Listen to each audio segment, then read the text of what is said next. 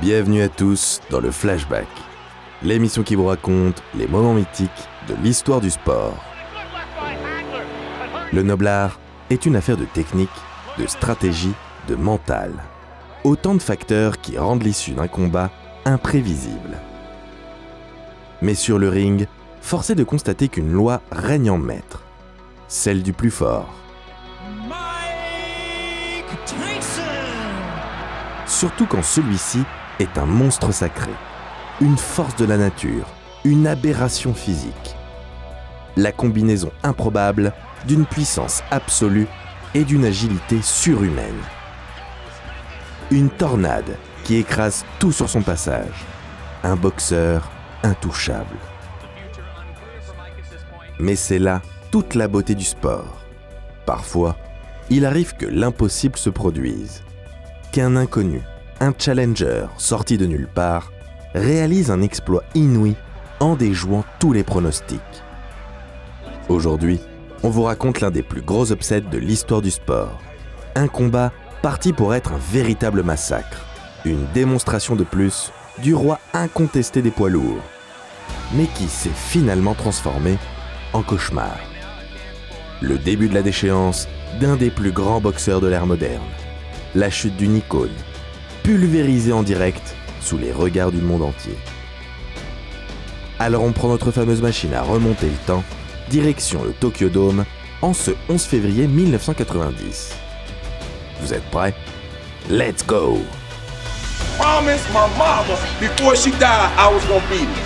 We used to think that nobody could beat Tyson. This was just another demonstration of the peak of his powers. Tyson hit guys and just removed them from the consciousness of the their Buster Douglas was just another sitting duck for Mike Tyson. The world was shocked. the biggest upset in the history of heavyweight championship fights.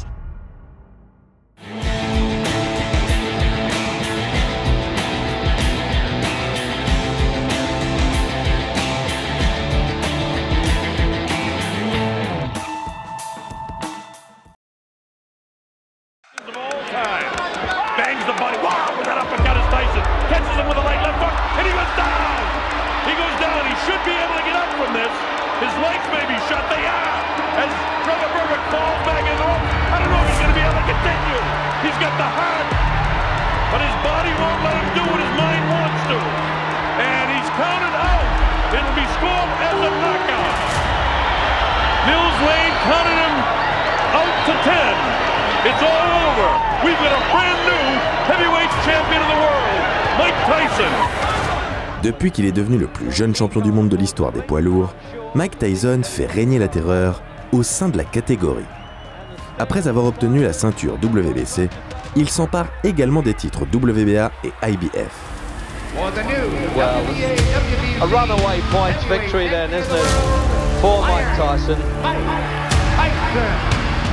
C'est alors le premier champion unifié de la catégorie depuis Léon Spinks en 1978. Personne ne semble pouvoir arrêter le Kid Dynamite qui écrase tout sur son passage.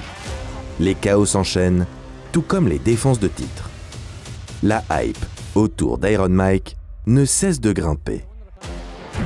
Après sa victoire par KO contre l'ancien champion IBF Michael Spinks, Tyson est au sommet de son art.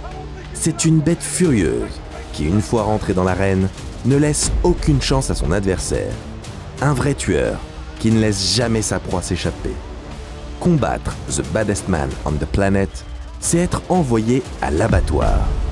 Ses adversaires semblent terrifiés avant même d'entrer sur le ring, à tel point que le boxeur de Brooklyn dégage une aura d'invincibilité. Certains affirment même qu'il est déjà le plus grand boxeur de tous les temps. Après deux nouvelles défenses de titre, le champion du monde de 23 ans affiche un palmarès hallucinant de 37-0, dont 34 victoires par KO. Plus impressionnant encore, ces cinq derniers combats n'ont duré que deux rounds et demi en moyenne. Rien ne semble pouvoir l'arrêter. Son nouveau manager, le célèbre Don King, prépare alors un super fight entre son poulain et l'ancien champion du monde des Cruiserweight, Evander Holyfield. Mais avant d'organiser ce combat grandement attendu par les fans de boxe, le promoteur à la tignasse grise à d'autres projets. Histoire de faire durer le suspense, mais surtout d'engranger quelques dollars de plus, il décide d'organiser une nouvelle défense de ceinture. Pour cela, il choisit un boxeur largement inférieur à son protégé, un certain Buster Douglas. You have remember that uh, just nobody believes anybody can compete with Mike Tyson.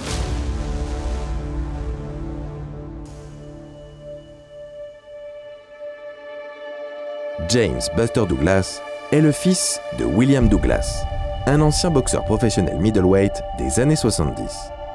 Même si son rêve est de devenir basketteur, le jeune James abandonne cette idée pour se mettre à la boxe. Un moyen pour lui de se rapprocher de son père, dont il recherche l'approbation. Me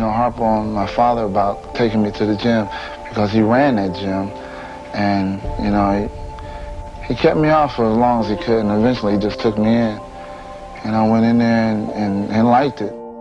Celui-ci décide de l'entraîner pour faire de lui un champion du monde. Buster passe rapidement professionnel et enchaîne les victoires, sans forcément briller. Si on lui reconnaît un certain potentiel, le poids lourd est décrié pour son manque de sérieux dans sa préparation. Lors de ses combats, il arrive toujours en surpoids, un point qui ne manque pas de susciter les critiques et les comparaisons désavantageuses avec son père, connu pour sa rigueur et son sérieux.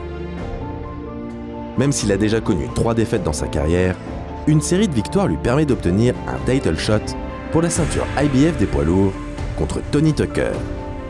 Bien qu'il domine les premiers rounds, Douglas se retrouve coincé dans les cordes lors de la dixième reprise.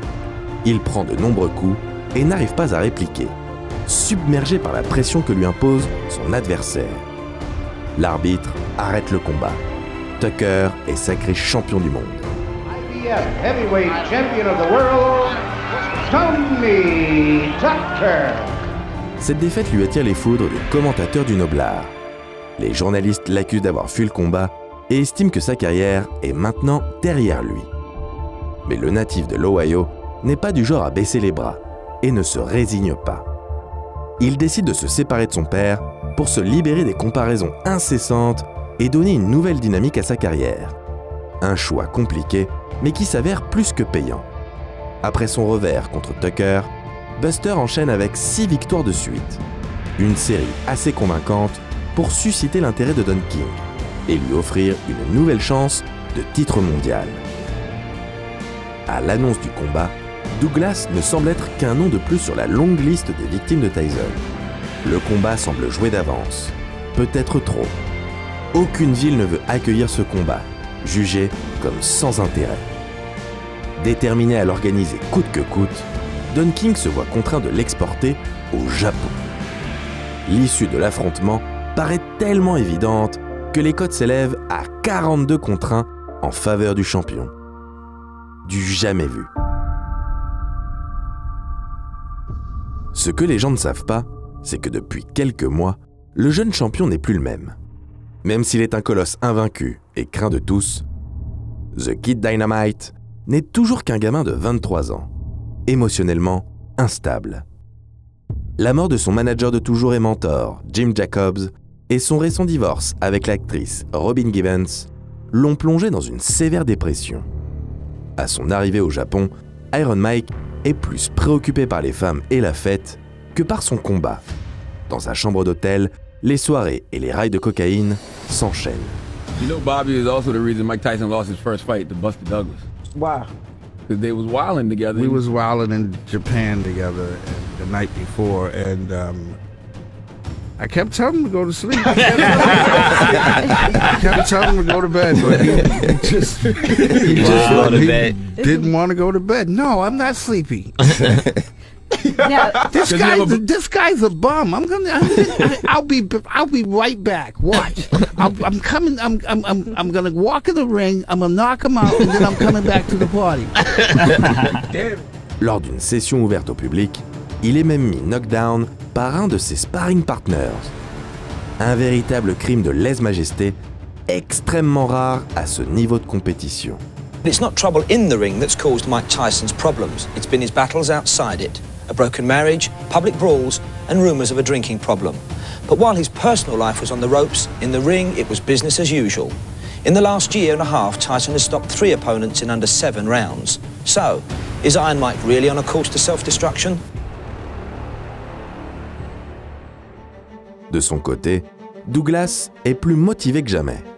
Après sa défaite contre Tucker, une nouvelle opportunité de combattre pour une ceinture mondiale aurait été inespérée.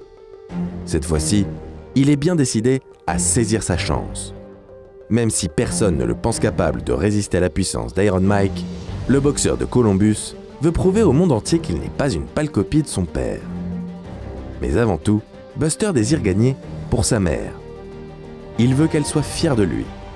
Décédé trois semaines avant le combat, il lui a promis qu'il vaincrait Tyson.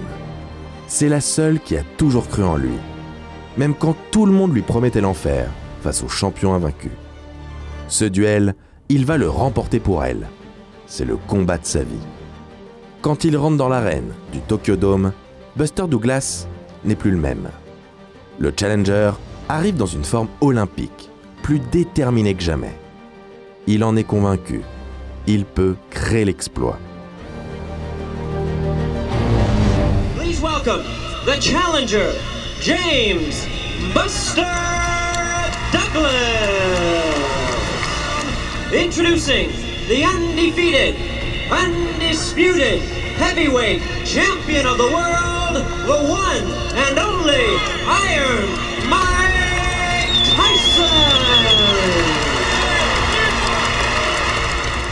Malgré une préparation catastrophique, personne ne voit The Baddest Man on the Planet perdre ce combat. Buster Douglas is a conventional fighter who likes to work behind a stiff left jab. Mais quand le gong retentit, le déséquilibre tant annoncé entre les deux adversaires n'est pas si visible que ça. Au contraire, sur le ring, c'est bien le challenger qui fait la plus forte impression. We're almost 90 seconds in, and as yet, Tyson has done no real damage to Buster Douglas. We talked about intimidation before the fight. Douglas has so far shown no signs of being intimidated. À la différence des autres boxeurs qui ont affronté Iron Mike avant lui, Douglas ne recule pas. Il avance sans cesse et gêne constamment le champion avec son jab. Au fil des rounds, les observateurs commencent à croire aux chances de l'underdog face à un Tyson méconnaissable. Dans la cinquième reprise, le corner de Kid Dynamite commence à prendre peur. L'œil gauche du champion est gonflé, maltraité par les coups répétés du challenger. Son staff n'était tellement pas prêt à avoir un combat disputé que personne n'a pris la peine d'amener de la glace. À la fin du huitième round, le moment que les 40 000 spectateurs du Tokyo Dome attendaient finit par arriver.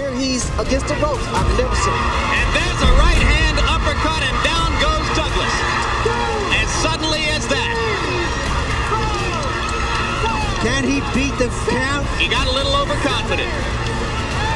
Got a little loosey-goosey. Le gong retentit pour marquer la fin du round, et le momentum semble alors avoir changé de camp. Mais au début de la neuvième reprise, c'est comme si rien ne s'était passé quelques instants auparavant. L'underdog repart de plus belle et reprend sa marche en avant. Tyson livre tout ce qui lui reste pour finir le combat, mais cela ne suffit pas. À la fin du round, le challenger est encore debout, prêt à en découdre. Le champion, lui, agonise. Il est à court de solutions. Lors du dixième round, Iron Mike n'est plus que l'ombre de lui-même. La bête furieuse, que personne ne croyait domptable, est épuisée, subissant les attaques à répétition du challenger. Grâce à un uppercut, Buster touche sévèrement son adversaire et l'envoie au tapis pour la première fois de sa carrière. Rolling willingly just to try to get in the shot that will finish things in. Oh, the uppercut. What an uppercut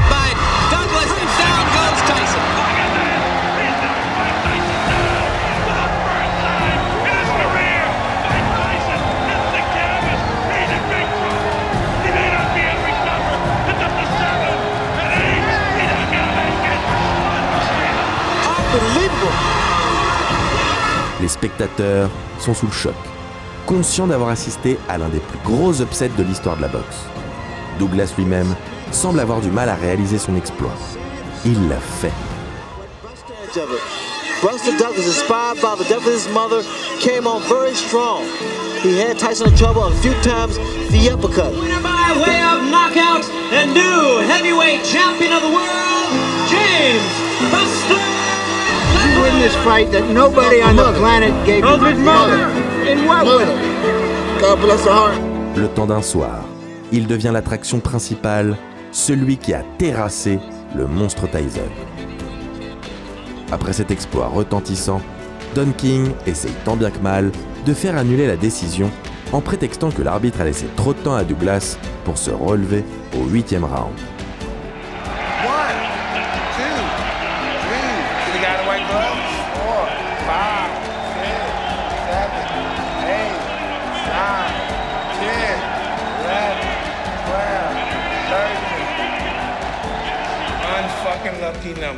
Le Challenger est confirmé comme vainqueur et s'empare des ceintures WBA, WBC et IBF des poids lourds. Cette parenthèse dorée sera cependant de courte durée pour le nouveau champion. Il tombe dès sa première défense de ceinture contre The Real Deal Evander Holyfield et raccroche les gants dans la foulée.